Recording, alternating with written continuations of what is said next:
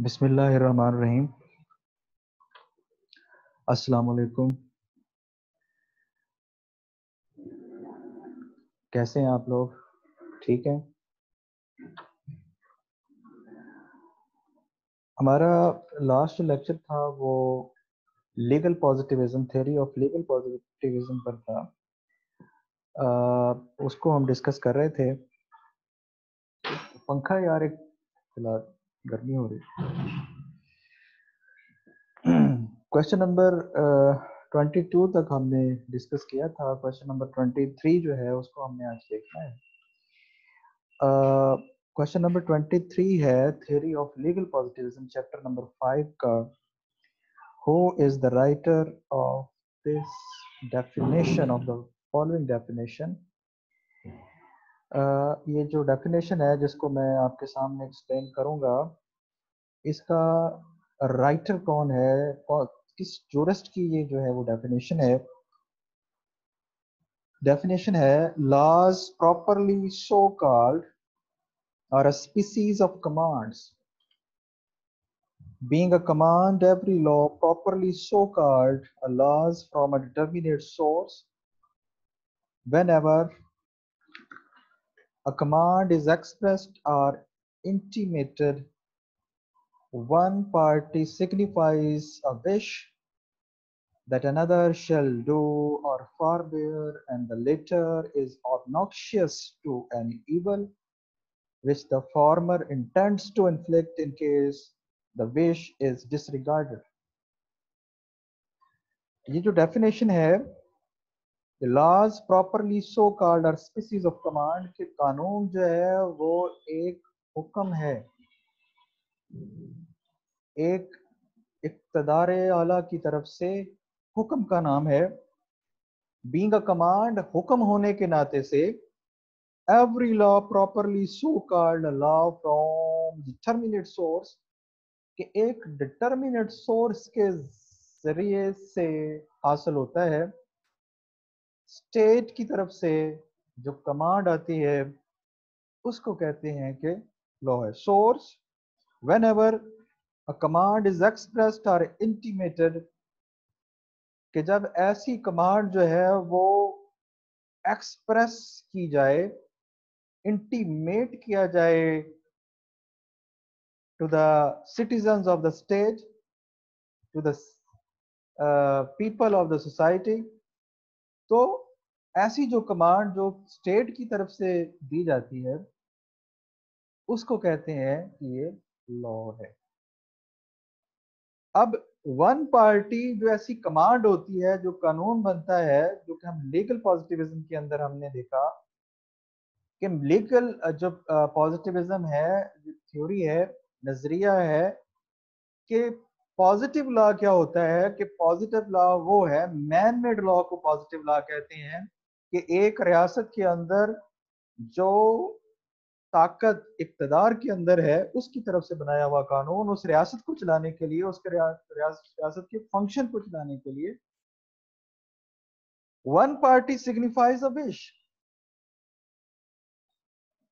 कि कमांड क्या है? कि कमांड के अंदर एक जो पार्टी है, वो विश करती है।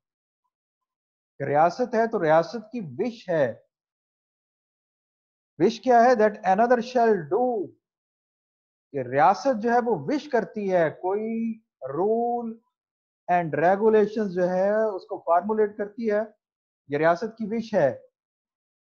और विश क्या होती है? टू डू समथिंग और नॉट टू डू समथिंग तो कुछ करना है या कुछ नहीं करना। One party signifies the wish जिस जोरिस्ट की डेफिनेशन है वो कह रहा है कि लीगल पॉजिटिविज्म क्या है कि जिसके अंदर एक सॉवरन की तरफ़ से जो है वो कमांड होती है और दूसरी जो पार्टी होती है उसने उसको मानना होता है, उस कमांड को। कुछ करने के, करना होता है तो करने के लिए कहा गया हो, करना है। ना करने के लिए कहा गया हो तो नहीं करना। One party signifies a wish that another shall do कि दूसरे ने वो करना है, वो करेगा और फार बेयर या रुका रहेगा। And the latter is obnoxious पहली की तो ख्वाहिश है और जो लेटर है फार्मर फार्मर कहते हैं पहला पहला जिसने कमांड जारी की है लेटर कौन सा है? जो सिटीजन है, जिन्होंने ओबे करना है उसको।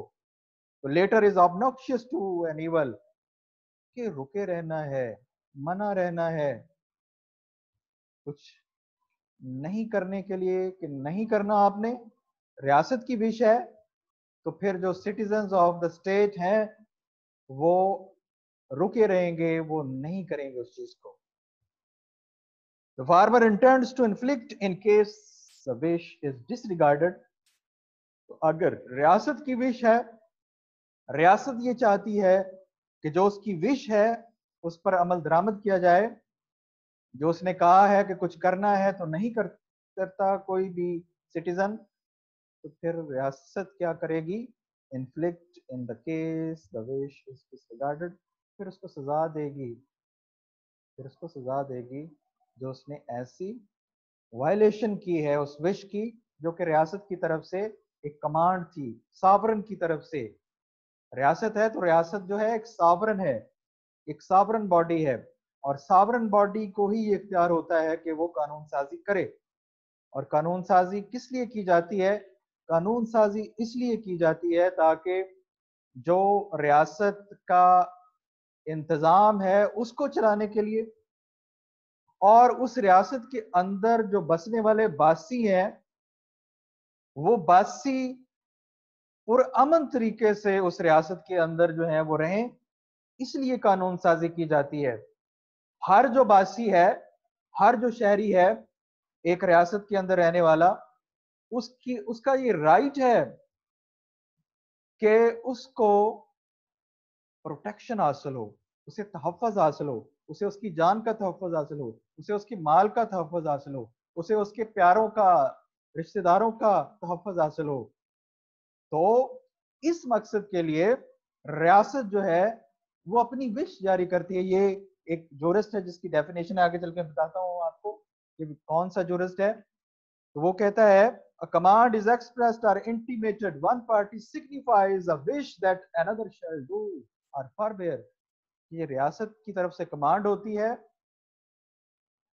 जिसमें ये कहा जाता है कि कुछ करना है टू डू समथिंग और not to do something for the protection for the protection of the society for the protection of the state for the protection of the citizen of the state तो उस मकसद के लिए रियासत जो है वो कानून साजी करती है। और रियासत जो ऐसी कानून साजी करती है, उसमें सैंक्शन भी रखती है, जो हमने पीछे पिछली लेक्चर में पढ़ा। कि सावरन की तरफ़ से जो एलिमेंट होते हैं, जो कानून साजी के उसके अंदर कमांड होती है सैंक्शन होती है ड्यूटी होती है और सवरनिटी होती है। कि रियासत की तरफ़ से कमांड जारी होती है और उस कमांड में ये होता है कि कुछ करना है और कुछ नहीं करना। अपने ड्यूटीज़ को परफॉर्म करना है, जो कि रूल्स एंड रेगुलेशंस की सूरत में रियासत ने बना दिए हैं। अब अगर उस ड्यूटी की वायलेशन होती है तो फिर सैंक्शन होगी, सजा होगी। और ऐसा जो कमांड जारी की गई है, वो किसी सावरन अथॉरिटी की तरफ़ से हो, ये हमने पिछले लेक्चर के अंदर इसको डिस्कस किया था। तो यही जो डेफिनेशन है,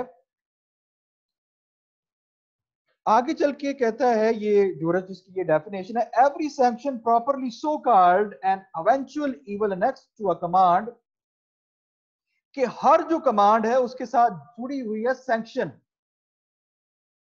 कि हर जो हुक्म होगा, जो कानून बनाया जाएगा सावरन की तरफ़ से, रियासत की तरफ़ से, उसके साथ लाजमी तौर पे उसके पीछे फोर्स होनी चाहिए, सजा होनी चाहिए सैंक्शन होनी चाहिए। अगर सैंक्शन नहीं है फोर्स नहीं है तो फिर वो कोई लॉ नहीं है, वो कोई कानून नहीं है। तो इसलिए ये जूरिस्ट कह रहा है कि every sanction properly so called is an eventual evil annex to a command उसके साथ जुड़ी हुई कमांड के साथ जुड़ी हुई है जुड़ी हुई है क्या sanction every duty properly so called supposes a command by which it is created and duty properly so called is obnoxious to evil of the kind कि हर जो कमांड है उसके अंदर किसी का राइट है और किसी की ड्यूटी है, और अगर उसकी वायलेशन होगी तो उसमें डेफिनेटली जो है वो सैंक्शन होगी, और उस कमांड के अंदर जो भाषी हैं उस स्टेट के, उनकी ऑब्लिगेशंस होंगी, उनकी ड्यूटीज़ होंगी, उन्होंने कुछ नहीं करना, अगर वो करते हैं तो उनको फिर सजा दी जाएगी।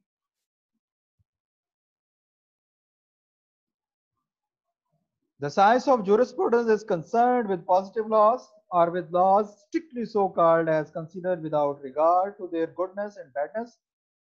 All positive law is deduced from a clearly determinable lawgiver.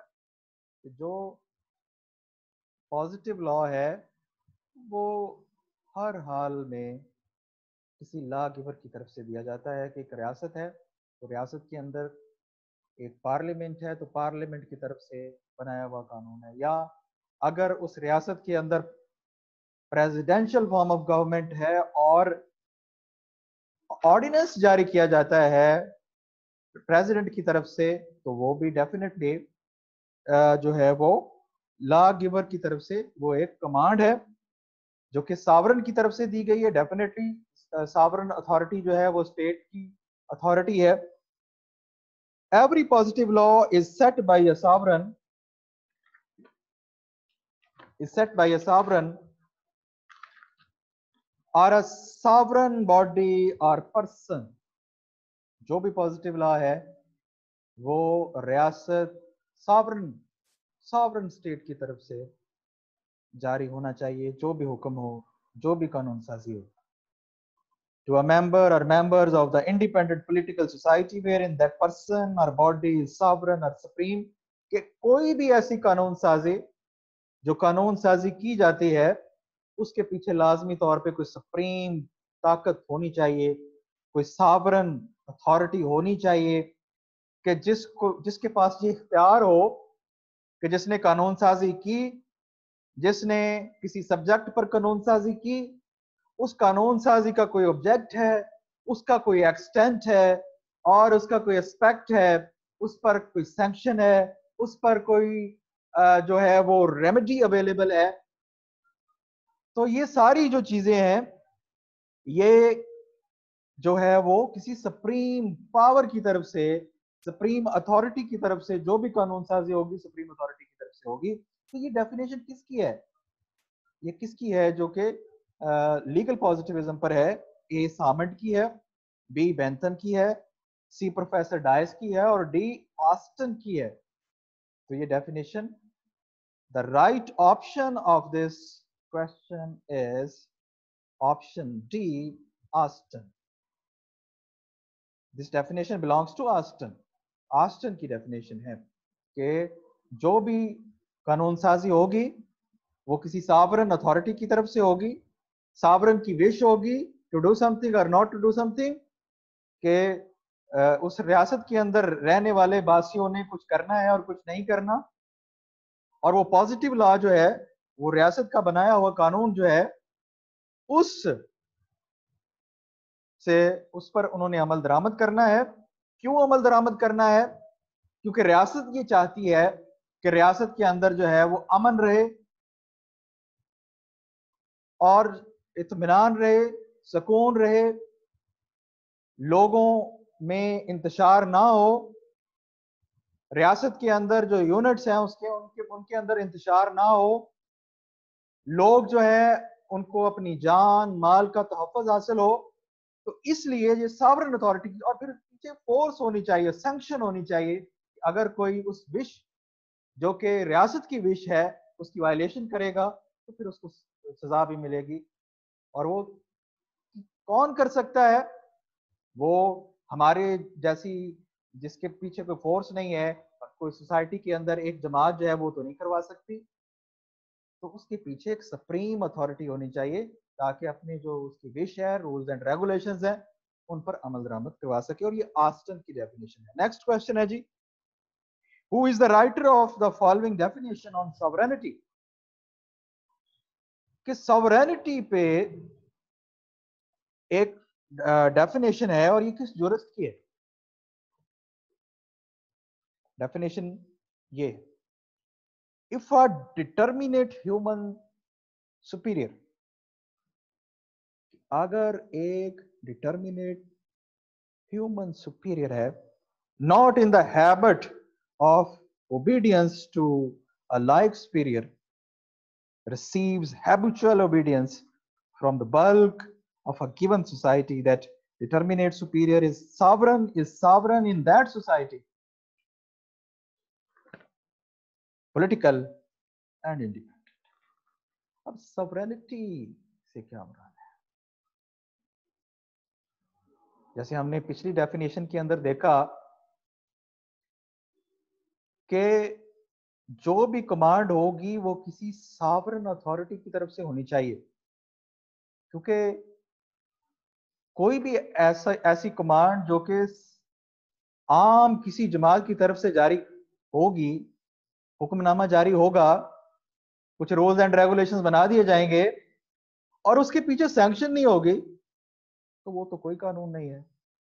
जैसे हमने लॉ की डेफिनेशन पढ़ी थी कि a set of rules and regulations that have authority behind it to enforce that uh, rules and regulation that is called law तो अगर पीछे sovereign authority नहीं है सावरेनिटी हासिल नहीं है किसी रियासत के अंदर किसी पॉलिटिकल अथॉरिटी को तो फिर उसके जो ऑर्डर्स होंगे उसकी कोई वक़्त नहीं होगी if a determinate human superior not in habit of obedience to a like superior receives habitual obedience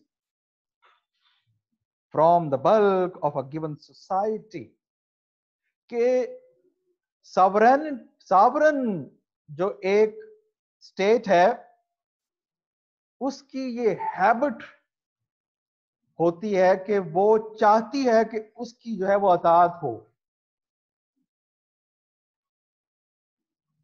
और वो अतात क्यों है? Under the social contract theory कि जब लोगों ने सोशल कॉन्ट्रैक्ट थ्योरी के तहत ये मान लिया कि एक रियासत को हम तस्लीम करते हैं और वो रियासत सावरन स्टेट जो है, वो जो भी कानून साजी करेगी, जो भी रूल्स एंड रेगुलेशन बनाएगी, फिर हम उसको फॉलो करेंगे। हमारे जो फंडामेंटल राइट्स हैं, कुछ जो राइट्स हैं, वो हम सेक्रीफाइस करेंगे। अगर रियासत कहेगी कि ऐसे करना है तो करना है। अगर रियासत कहेगी कि ऐसे नहीं करना तो फिर नहीं करना। तो फिर ओबीडियंस ओबीडियंस और ओबीडियंस है कि अतात करनी है। एक सावरन रियासत है सावरन का एक रियासत की कमांड है और टू डू समथिंग और not to do something for the protection for the protection of the state for the protection of every citizen of the state तो फिर क्या होगा कि उस रियासत की जो विश है टू डू समथिंग और not to do something for the protection of the society तो फिर उस पर अमल किया जा सकेगा। और ये रियासत ये चाहती है कि वो जो भी रूल्स एंड रेगुलेशन बनाए, ये हैबिट के अंदर होना चाहिए कि वो लाजमी तौर पे उस सोसाइटी के अंदर, उस रियासत के अंदर